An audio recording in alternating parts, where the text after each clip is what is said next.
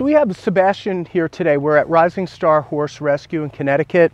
Really pretty, right? I mean, look at look at this beautiful, handsome. Some he's really narrow. I come under the armpit, I push it away and get him to open up a little bit. I'm on a very tender spot here. There it goes. That's what I want.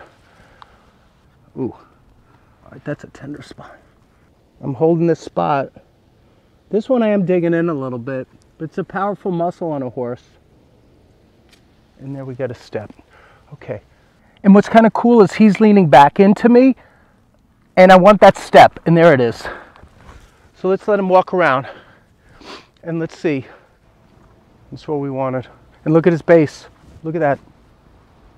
Nice and wide now. Okay, we're gonna end there, okay? Thanks for letting me work on you today.